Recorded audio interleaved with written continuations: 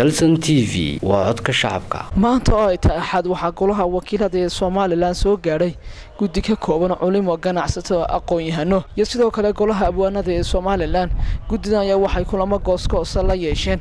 Gudoomiye ku-xigeenka golaha wakiilada somalilan waxaanay guddidan culimada iyo iskugu jirta aqoon-yahanada iyo sidoo kale golaha abwaanada somalilan ay kala hadleen sidii loo joojin lahaa xeerka caalamiga ee horyaala golaha wakiilada somalilan taasoo ay culimmadani ku tilmaameen iyo aqoon-yahanada iyo ganacsatadani ay ku tilmaameen mid ribe ah. Waxaana guddoomiye ku-xigeenka golaha wakiilada somalilan ku booriyeen inuu hakiyo xeerkaasi waxaana hadalladoodii ka mid ahaa sida tan. Waxaanu isugu nimid dhammaantayo xeerkii lagaga dooday golaha wakiilada ee ku saabsanaa bangiyada ku salaysan ribada in la keeno ee waddankana khalkhalka geliyey kaasaanu shalay ugu tagnay madaxweynaha jamhuuriyadda somalilan iyo madaxweyne ku-xigeenka iyo wasiirka madaxtooyada. Madaxweynuhu si buuxda ayuu u aqbalay codsigii aanu u geynay oo ah in waddankaa bangiyo ku shaqeeya ribo aan la keenin. Ilaahay subxaana wa tacaala wuu ka hadlay kitaabka qur'aanka ah ribada wax loo yidhaa loo yaqaano إلهي سبحانه وتعالى وحرمه حل الله البيع وحرم الربا. إلهي وحلال بيعي.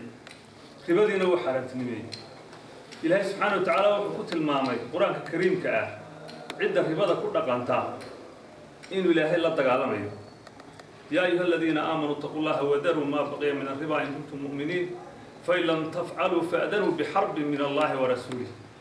لو ضدتك أن تصنع كي يسوقوا يمي أدتك كرين ضاونا ilaahay subxaanahu wa tacaala ummaddan inuu ka dhigo ummad khayr leh oo ilaahay subxaanahu wa tacaala oo wixii wanaagsan isu kaashada wixii khayr ee wanaagsan ka midaysan wixii sharana ka midaysan inay iska difaacaan ilaahay inuu ummadeenna ka dhigo waxaan leedahay ilaahay subxaanahu wa tacaala ummad madaxdooda ku kalsoon oo markay wax sameeyaan u imanayo ku soo dhiiranayo xaqa u sheegaya inuu ilaahay ummadeenna ka dhigo geesta kale guddoomiye ku-xigeenka golaha wakiilada somalilan baashe maxamed faadhax oo ay guddadin la kulmeen ayaa isaguna dhankiisa ka sharaxay xeerkan golaha wakiilada somalilan waxaana uu sheegay inay diidan yihiin xeerkani waxaana hadaladiisii ka mid ahaa. Sidaa culimmadu idiin sheegtay waxaa weeye in dhoweydba hadalka waxaa taagnaa bankiga ganacsiga oo golaha labiyo toban sano yiil oo maalin dhowed ashadaha lagu soo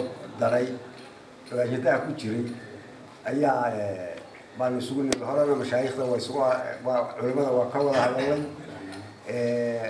Shareecada islaamka dastuurkeenu wuxuu ugu horreeya waxa weeye wixii ka hor imanaya shareecada islaamka inaa ay waxba ka jirin. Haddii la ansixiyo iyo haddii aan la ansixin haddii la ansixiyo xitaa inuusan jirin waxaa sheegaya dastuurka. Innaguna waxaynu ku dhaqmanaa waxa weeye waa dastuurka. Dastuurkeennuna wuxuu ku dhisan yahay shareecada islaamka.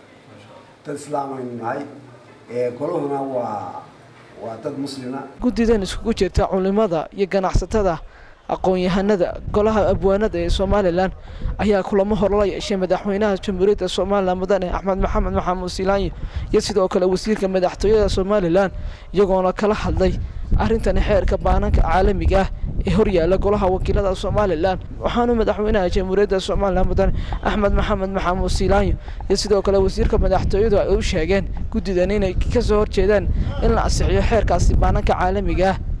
Si kastaba ahaatee xeerkan ee baananka caalamiga ee horyaala golaha wakiilada somalilan ayaa in muddo aba laga qaylinayay. Cabdulaahi maxamed faarax cabdulaahi riraash telefishinka caalamiga ee kalson golaha wakiilada ee somalilan